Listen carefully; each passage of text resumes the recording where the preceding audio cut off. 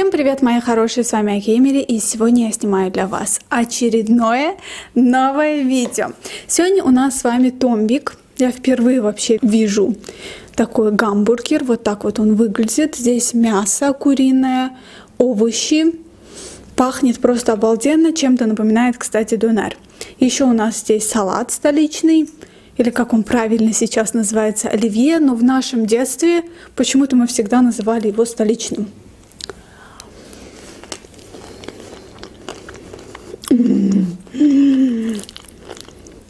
Один раз я заказывала этот салат, и у меня пришел такой прокисший.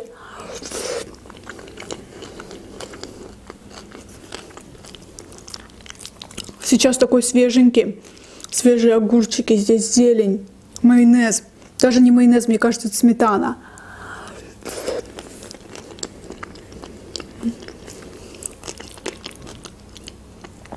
Вы посмотрите на это.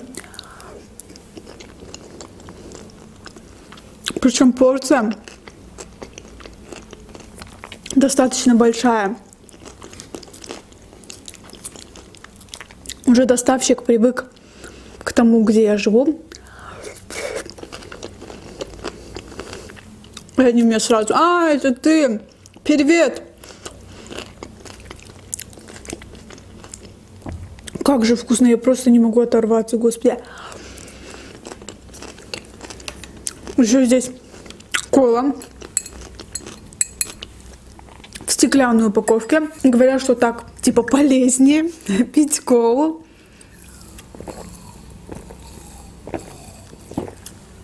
Если честно, вот я начала пить колу именно в тот период, когда начала снимать мукбанки. До этого такой вот зависимости от колы и вообще от газированных напитков у меня не было. Я спокойно могла пить воду с лимоном и быть счастлива. Но сейчас, когда я кушаю шаурму или пиццу, мне прям хочется колу. Даже у нас были одногруппники, мы когда сидели в столовой, у нас такой крутой буфет был, круче любого ресторана. Ну, в общем, мы сидели, и все заказывали себе колу или фанту, какие-то газированные напитки. Я всегда брала чай.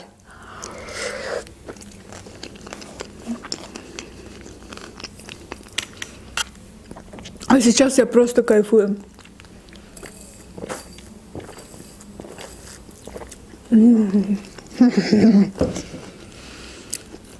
Сегодня день был максимально продуктивный.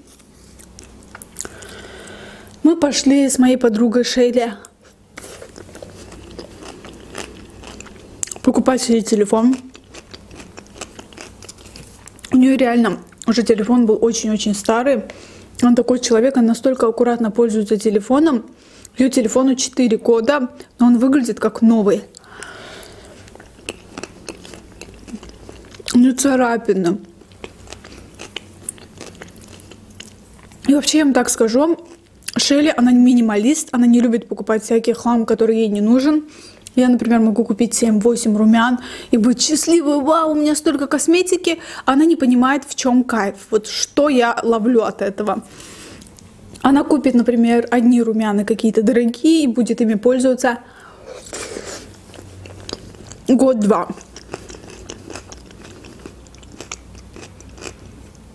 Я, честно, когда вижу таких людей, я немножко, ну, как бы завидую белой завистью, потому что я так не могу. Вот с этого месяца, вот март на дворе с 1 марта, я вам говорила, что я записываю, сколько я трачу денег. Вот до копейки. Я хочу свести свои расходы на минимум.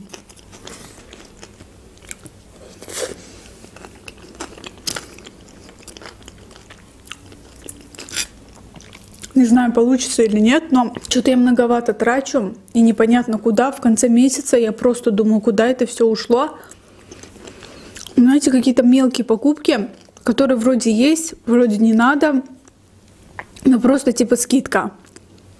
Вообще скидки играют со мной очень злую шутку. Как только где-то скидки, Айка теряет голову. Ну, в общем, мы пошли с ней покупать ей телефон. Купили Samsung A51, по-моему, так.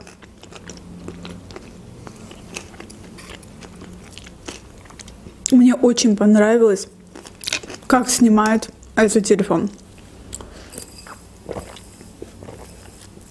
Вообще экран такой яркий, такой красочный. Я в восторге была. Честно, вот реально я вам говорю, когда у Шелли в жизни происходит что-то хорошее, я искренне за нее радуюсь. Вот абсолютно искренне вам говорю. Когда она устроилась на работу, у меня мама так радовалась, что вау, она нашла работу классную.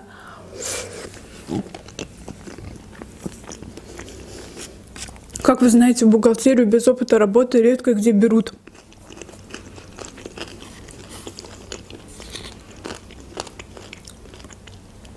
Я считаю, что самое главное в друзьях это то, чтобы они умели радоваться вашим победам. И не завидовали.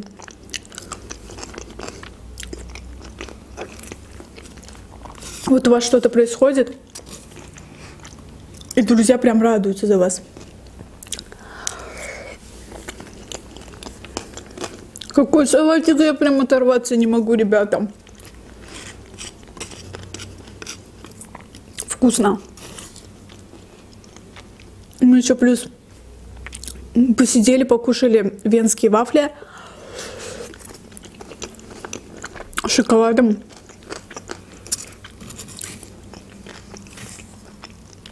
Короче, я влог снимала, вы все это увидите.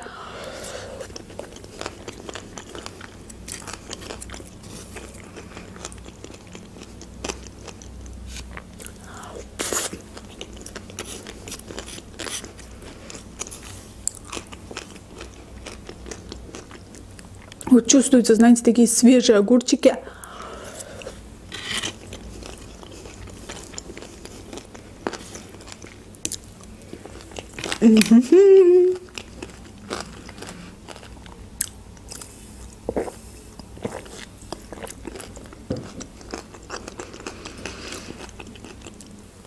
Мы пошли покупать телефон в то место, где работала раньше я. Я работала в магазине техники, помощником директора.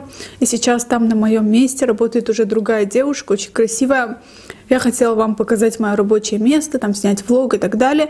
Но потом я подумала, что это будет очень неэтично. Сейчас же я там не работаю правильно, снимать рабочее место другого человека уже. Это как-то как минимум некрасиво. Вот. Потом еще купил себе чехол. Вот такой вот у меня наподобие был. Это просто в золотом оттенке. Он чем-то мне напоминает этот чехол эм, расцветку iPhone XS Max. XS у него есть такой золотой, да, орнамент. Красиво смотрится. Очень, очень. Так, приступаем к томбику.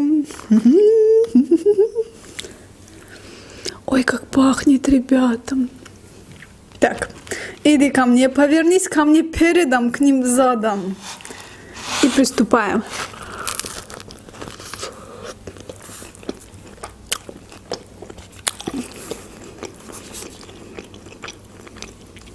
Мне кажется, немножко недосолено.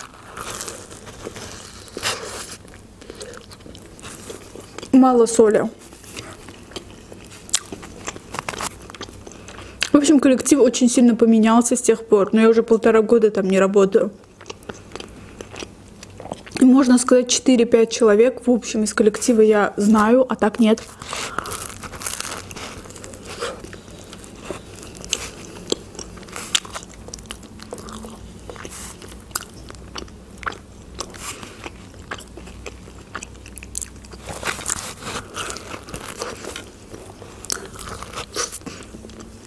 Все меня спрашивали, как у тебя дела, где работаешь? А я такая в строительной компании. Они сказали, что это за закономерность. После тебя на твоем месте работала другая девушка, И она тоже ушла. Буквально три месяца поработала и тоже ушла в строительную компанию. Потом была еще одна девушка, она тоже в какую-то строительную компанию. Я говорю, что за закономерность, слушайте.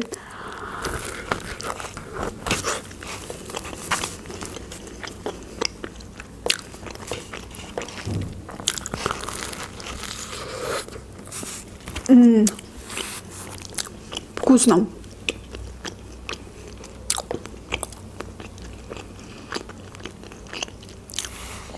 Вообще очень приятно, что ты идешь на старое место работы свое. То есть ты ушла с позитивом.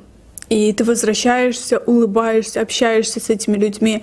И не просто общаешься, потому что, ну, как бы это так надо, как-то неудобно, а реально я была рада всех их там видеть.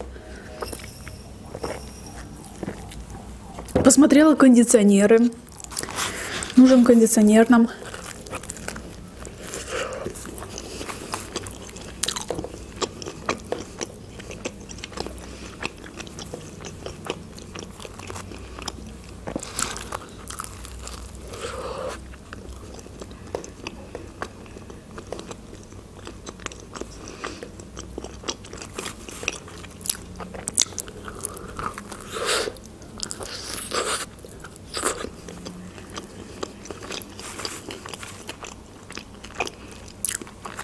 Как же вкусно!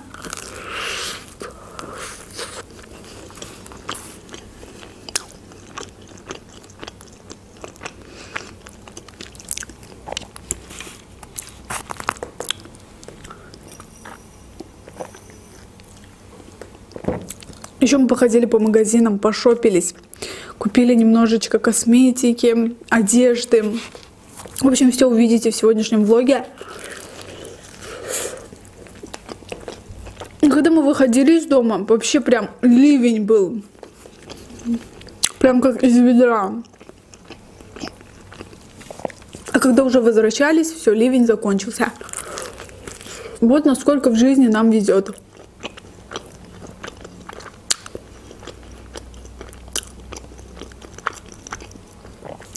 Вообще работа в магазине техники, она была достаточно сложная сложное в эмоциональном плане, потому что люди приходят со своими проблемами.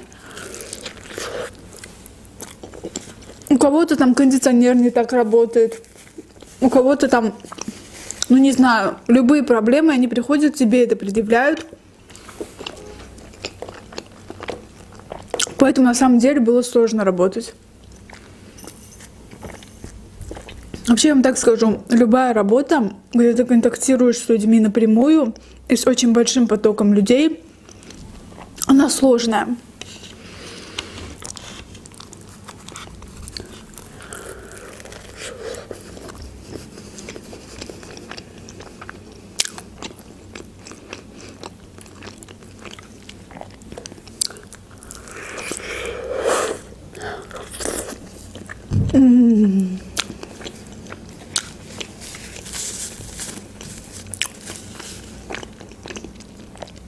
Проще работать в бухгалтерии, где-то с документами, потому что все люди разного характера, разного восприятия мира, извиняюсь за выражение, разного воспитания.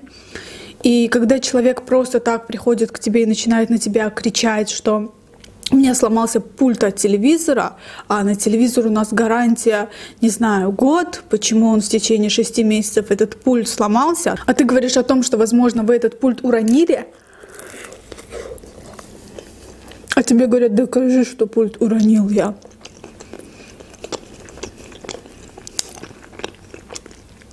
Или, например, человек неправильно обращался с техникой, в результате чего так получилось, что она не работает. Попробуй объяснить человеку такие моменты.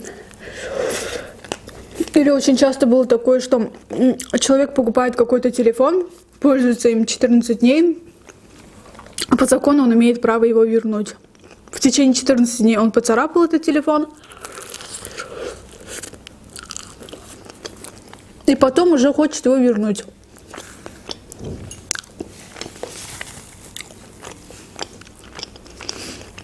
Ты объясняешь, что вернуть можно, но только с уценкой, так как уже есть несколько царапин на телефоне. И вот, например, вы покупатель, вы идете в магазин, вы хотите купить телефон уже с царапинами. Нет. Поэтому не можем его как бы у вас взять.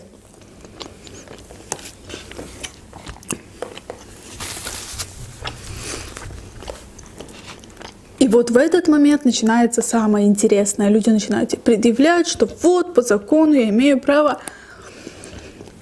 И не со всеми можно найти общий язык.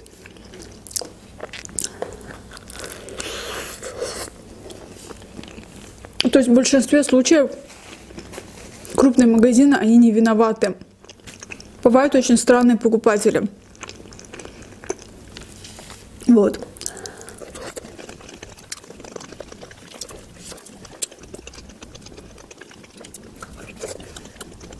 Или, например, был такой случай. Девушка пришла, купила iPhone. iPhone открыли прямо при ней. Ну вот распаковали. Приходит она через неделю и говорит, мой друг говорит, что этот телефон когда-то кто-то пользовал до меня. И мы говорим, где доказательства? То есть его распаковали перед вашими глазами. Нет, он программист, он в этом всем разбирается, вы мне продали телефон, который до этого кто-то использовал. Мы такие сидим, что делать? И девушка не уходит, начинает предъявлять и говорит, поменяйте мне этот телефон. Я вам отдаю этот, вы мне даете новый. Я опять его распаковываю. Ты начинаешь объяснять. Докажите, что до этого ваш телефон использовался кем-то другим. Аргументов ноль. Но при этом человек с тобой ругается.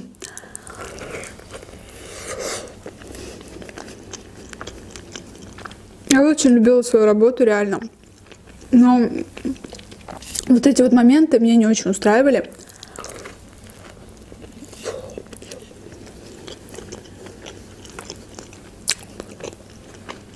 Какой вкусный томбик. Очень.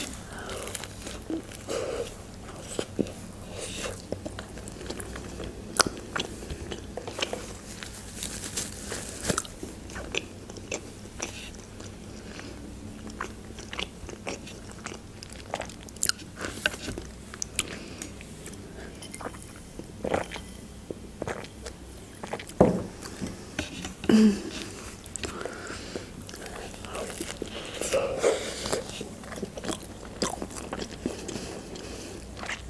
мясо, знаете, сочное внутри. Я обычно всегда беру курицу. Вообще, в любом случае, когда я сама что-то готовлю или что-то покупаю в ресторанах, мне как-то вкуснее почему-то курица.